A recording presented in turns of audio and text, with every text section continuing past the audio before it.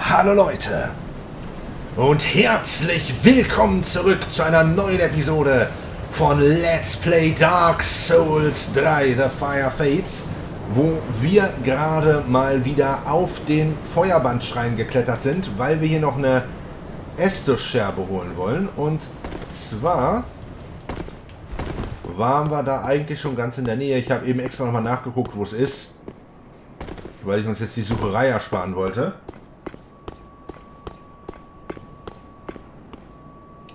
So, und zwar müssen wir hier einfach weiter und dann ist hier ein Weg hinein.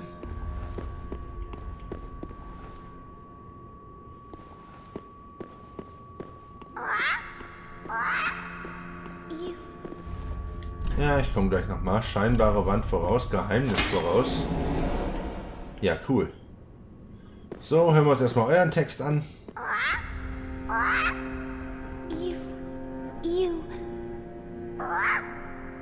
Me, me, pickle pea, me, me, bumperum. Ja, ich habe keine Ahnung, was du von mir willst. Und noch nicht nachgeguckt, was man eintauschen kann hier. Von daher vergib mir bitte, wenn wir jetzt keine Geschäfte miteinander machen. So, einmal kurz gucken hier. Uns hier irgendwelche sinnvollen Sachen, Orte fallen lassen können.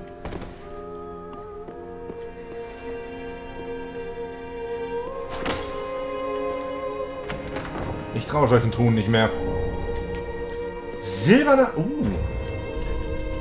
Wenn der das gleiche macht wie in den anderen Spielen, dann wird er jetzt ausgerüstet. Dieser Silberring beschreibt eine Schlange, die ihre Verwandlung zum Drachen nie erreichte.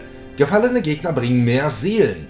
Schlangen sind als gierige Kreaturen bekannt, die sogar Beute größer als sie selbst verschlingen mit Haut und Haaren. Wer sich durch Mäßigung behindert fühlt, sollte vielleicht der alten Gier frönen. Ja, aber auf jeden. Auf jeden. Ich glaube, Flints Ring, den können wir eh nicht effektiv nutzen, weil ich meine Belastung immer nicht so wirklich äh, reduziere. Magie. So, ist da auch noch was? Nein. Na gut.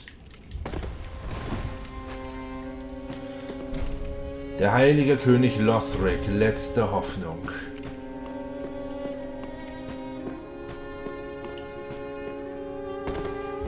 Mann, das ärgert mich, dass wir das erst jetzt gefunden haben hier. Äh, nee, warte, da. Da hätten wir rein theoretisch in der Tat einiges mitreißen können. Ah, well met. Tis good to see ye in good health. What needs smithing this day? Prithee, be careful. I don't want to see my work squandered. Ja, nee, ist klar. So. Damit haben wir jetzt acht Aufladungen für unseren Estus, da wir ja den Magie-Estus immer noch nicht benutzen. Und dann machen wir uns mal weiter auf hier.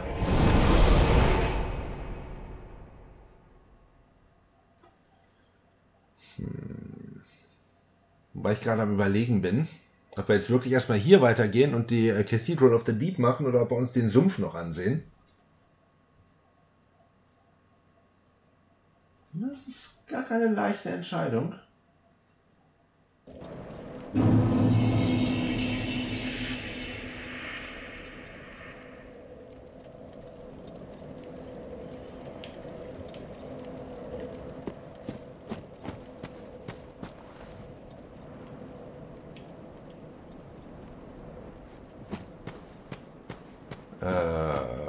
Vor allem, wo geht's denn, wo geht es denn weiter? Was ist das hier? Warum Rückzug? Weil es hier nicht weitergeht, oder?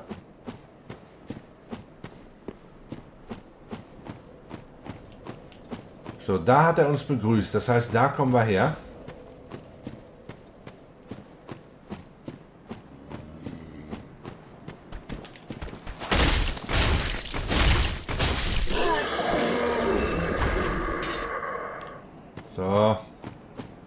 Das musste trotzdem gerade sein.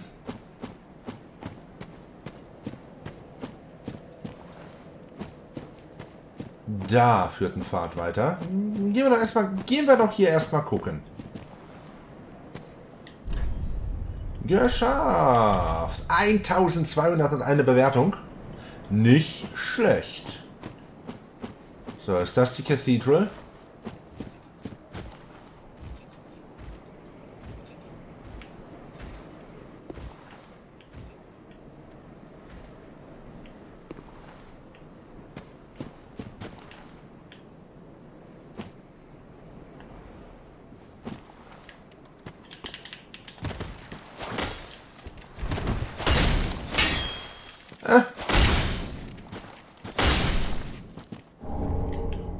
Funkeltitanit. Okay. Versucht springen darunter. Ja, jetzt gerade nicht.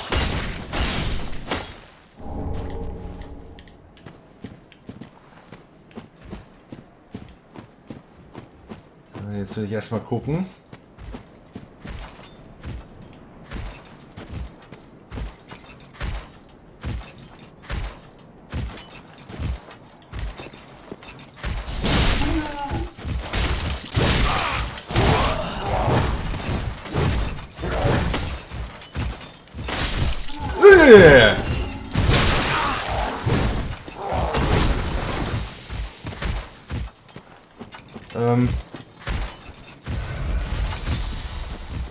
Jetzt gelandet? Ach, wieder hier unten, wo ich die Dings getötet habe.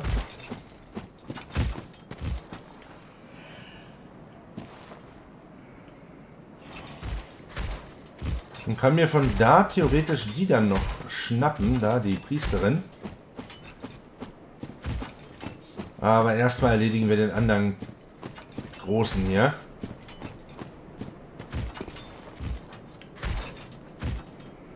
Ach, das führt dann... Ah, ja, okay. Nee, dann hole ich mir erst die Priesterin. Dann will ich noch mal gucken, was... Was haben wir denn hier noch? Bringt das was, darunter zu springen? Ich meine, es sieht ja schon so aus, als ob man da noch lang gehen kann, aber das geht auch ganz schön weit nach hinten. Danke. Das... Damit ist die Frage dann erledigt.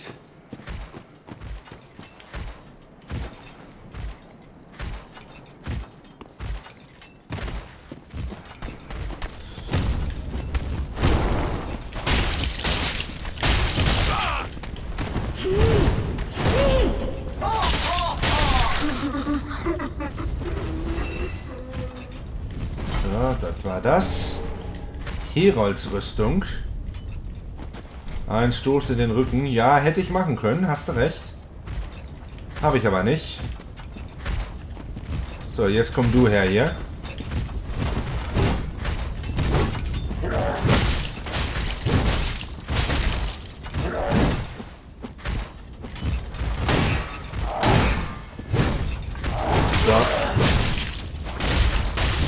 Wenn man nicht so doof ist und in deren Schwert genau reinrennt,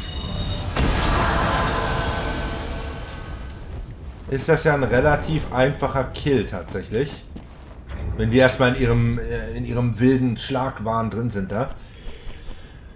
So, erstmal Großmachete. Eine riesige Machete mit einem Hiebangriff.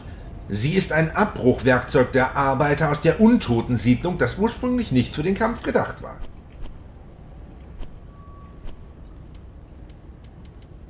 Und der Heroldshelm. Es heißt, dieser Stahlhelm wurde von den Herolden des Weißen Pfades getragen, den Überbringern dienstlicher Nachrichten.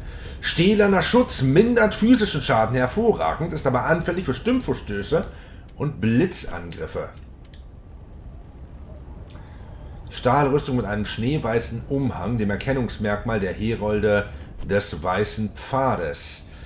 Es heißt, diese Lederhandschuhe wurden von den Herolden des Weißen Pfades getragen. Sie sind recht schlicht, aber für lange Reisen gut geeignet. Und das gepolsterte Material der Heroldshose ist effektiv gegen Schläge und ergänzt herkömmlichen Stahlschutz daher sehr gut. Das ist äh, für Dark Souls recht ungewöhnlich, da wird es weitergehen. Dass wir hier tatsächlich bei jedem einzelnen Kleidungsstück verschiedene Texte haben.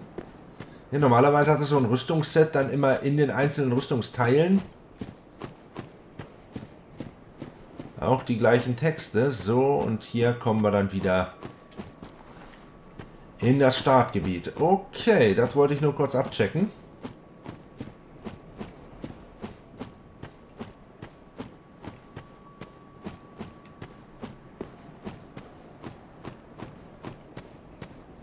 Und dann können wir hier weitergehen. Können wir das nicht als Leuchtfeuer benutzen hier? Schade eigentlich. Oh. Danke. Vision von unterhalb. Aha. nee, eigentlich nicht wirklich. Ich muss da nicht runter. Tatsache, ein Leuchtfeuer.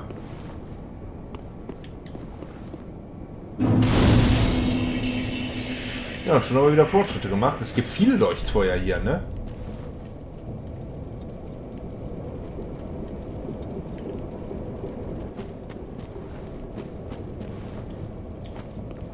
Okay. Für den lade ich mich nochmal voll auf.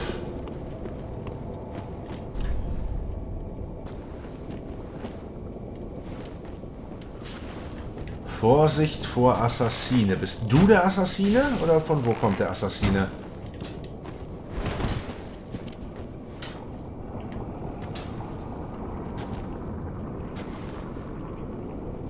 So, jetzt kommt er.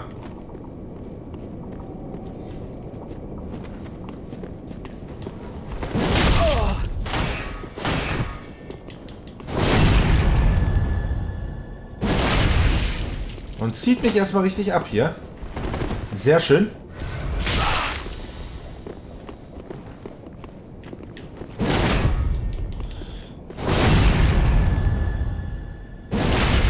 Zweimal mit dem gleichen Trick. Ja, das äh, muss man auch erstmal schaffen.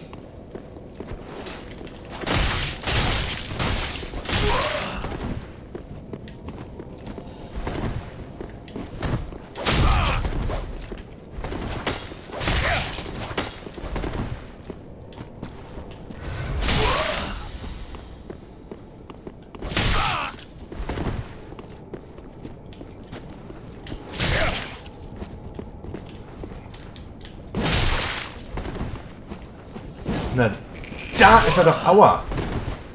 Ich wollte gerade sagen, da ist er wunderschön reingerannt.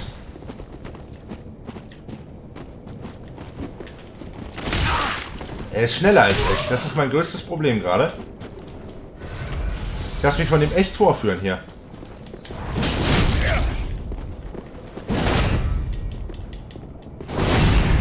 Aber so richtig, ne?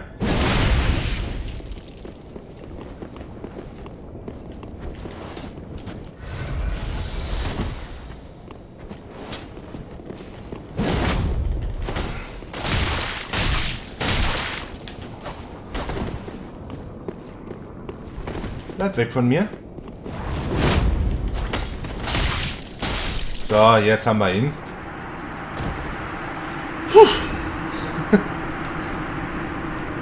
Nicht ohne. Nicht ohne, der Kerl. Ich hoffe nur, die Belohnung hier ist es wert. Die Asche eines Paladins. Okay, neue Gegenstände für unsere äh, Schreinmaid.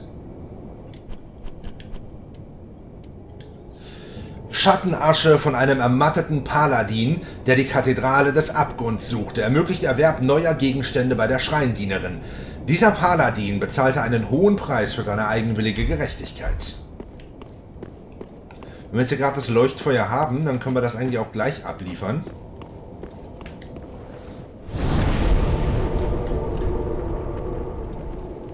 Die Kathedrale des Abgrundes.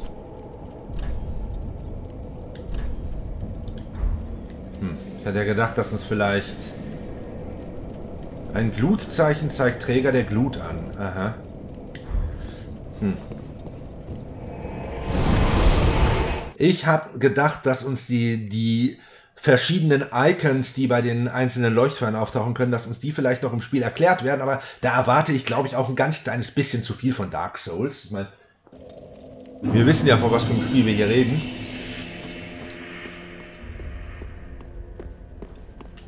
Ah, well met, Ashen One. How may I be of service? So, bitteschön. Gracious, passing fine ash thou'st given. Let this ash bestow nourishment. I only hope these new wares content thee.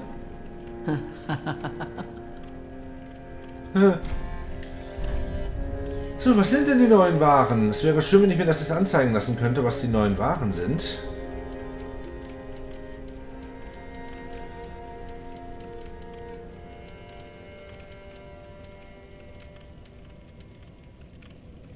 Hm. Lloyds Schildring verstärkt Schadensminderung bei vollen Trefferpunkten. Also nicht sonderlich nützlich, ja? Nur für den ersten Schlag. Ashen One, be sure Ja, ja, ja, ja, ja. Welcome home, Ashen. Speak thine. Ashen one.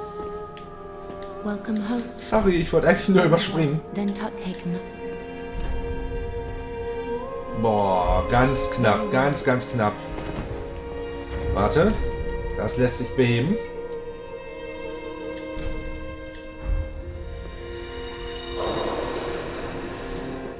Welcome So, ein Level up bitte. Ich nehme noch mal ein bisschen Geschicklichkeit. Geschicklichkeit 25 oder so ist mein Ziel jetzt erstmal.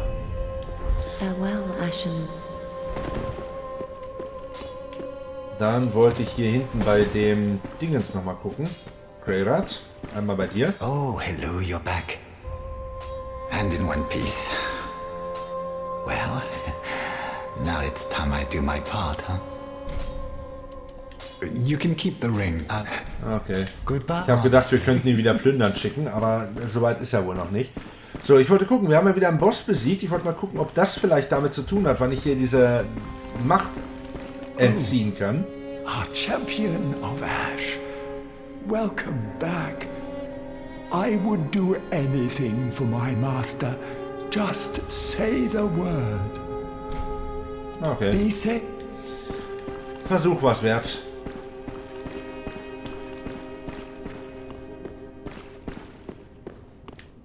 Dann machen wir uns mal auf zur eigentlichen Kathedrale des Abgrunds. gaining admission to the Legion. Tschüss.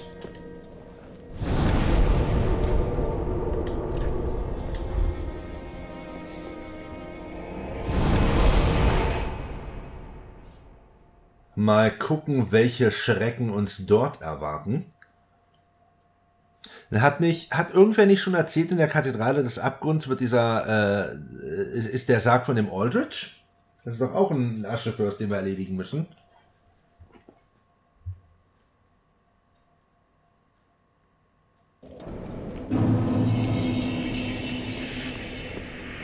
So, haben wir hier oben noch irgendwas?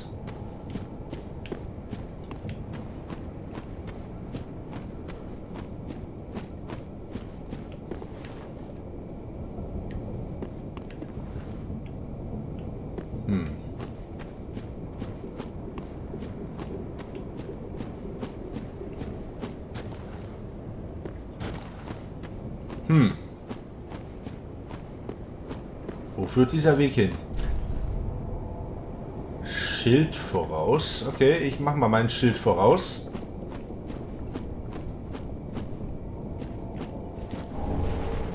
Und finde dann ein Schild voraus. Ah, okay. Wappenschild war es, ne? Ein Ritterschild mit eingraviertem Wappen. Einer der verzauberten blauen Schilde. Der Wappenschild reduziert Dunkelschaden beträchtlich.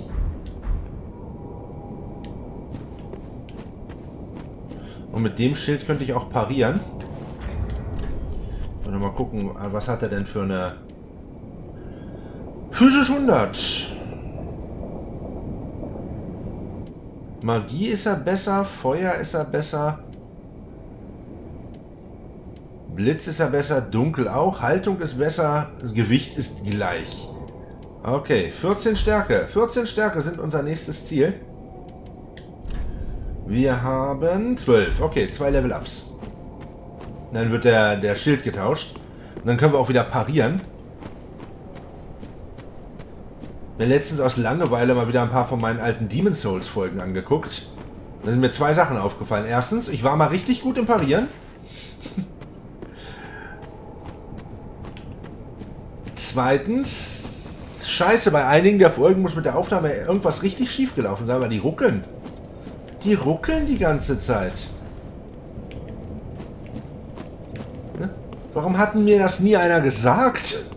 Also es war in der in der Originalaufnahme war das nicht, als ich äh,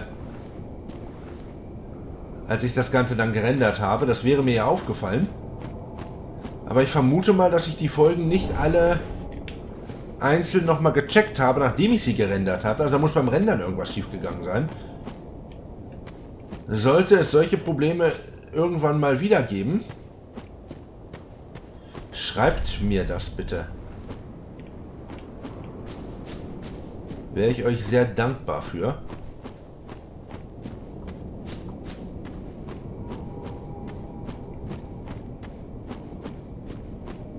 Das ist echt ärgerlich. Das ist sowas von ärgerlich. Wenn einem das dann nach vier Jahren auffällt.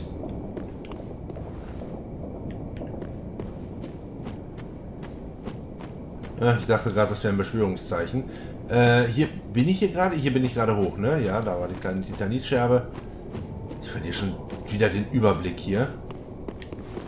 So, die Kathedrale macht mich ein bisschen nervös. Da kann ich auch noch mal lang gehen. Ja, ich glaube, hier war ich schon. Jo. Okay, was bist denn du für einer?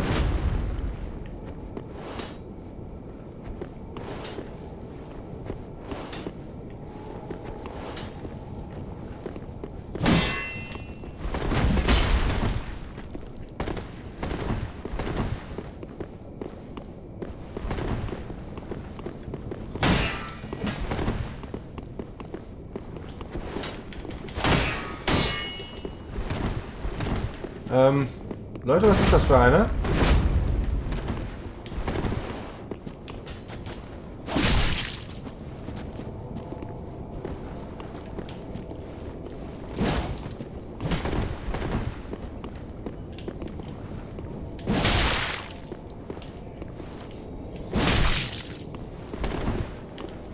Auf jeden Fall lässt er sich gerade relativ simpel auskontern.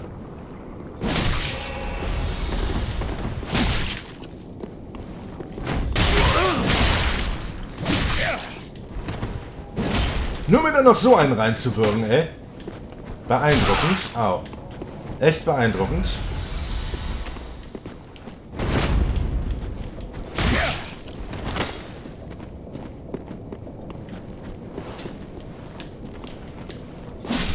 So. Erledigt. Arschloch.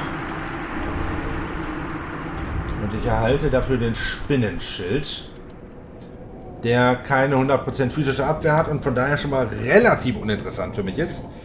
Ein Schild, in dem das Bild einer großen Spinne radiert wurde.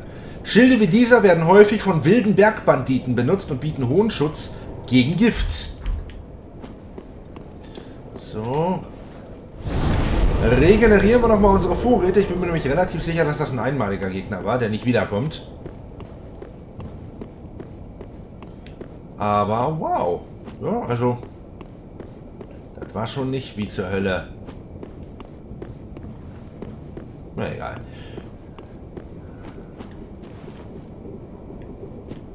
Hallo?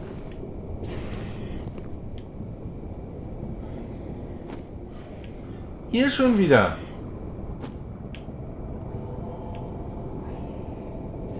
Oh Gott, eine ganze Meute von denen. Ach, das sind Hunde. Ich dachte, das wären wieder diese geflügelten Blödmänner da.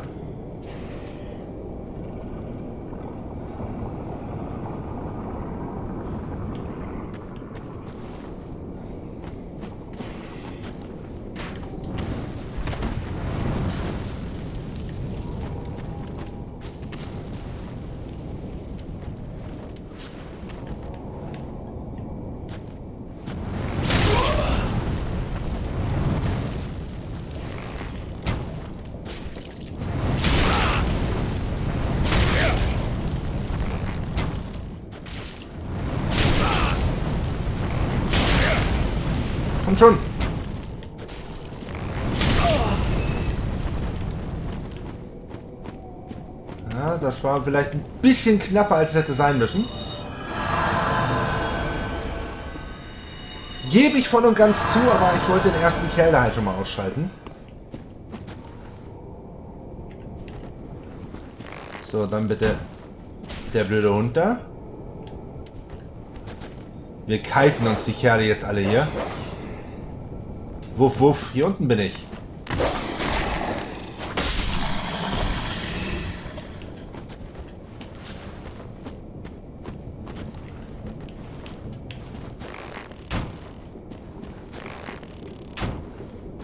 Okay, ist der zu weit weg? Nein.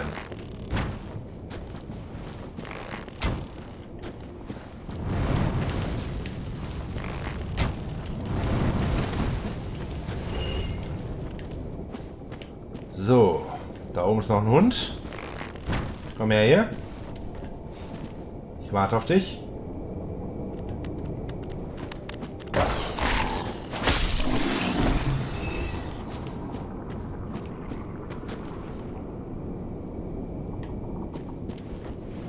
Und da ist noch ein Hund. Ich habe gerade überlegt, was das ist da. Aber es ist in der Tat noch ein Hund.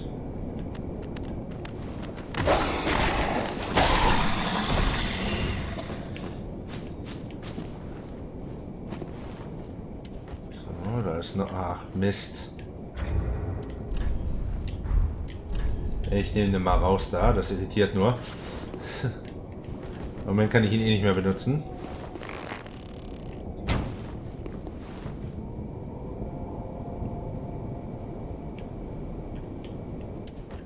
So, nach dem Hund dürfte es nur noch der eine Kerl sein, der da am Eingang steht.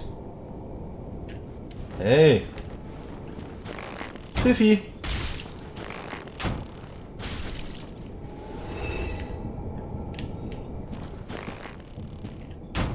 Echt schon befürchtet, dass Fifi nicht mit mir spielen will. Okay, das ist auch nochmal ein Bogenschütze. Oder ein Armbrustschütze ist es ja.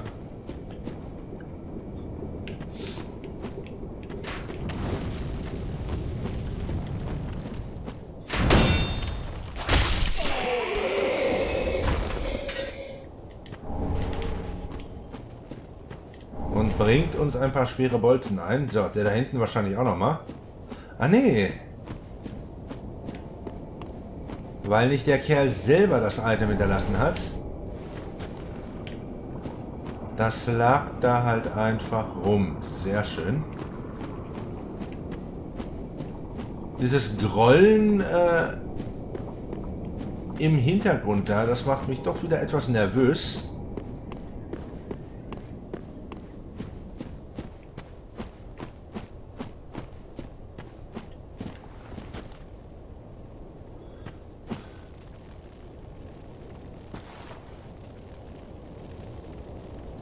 Bis jetzt haben wir die scheiß Kathedrale noch gar nicht erreicht. Ne? Wir sind noch außen, wir sind noch nicht drin.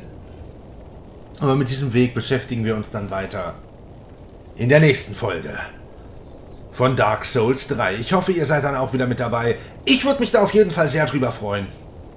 Bis dann.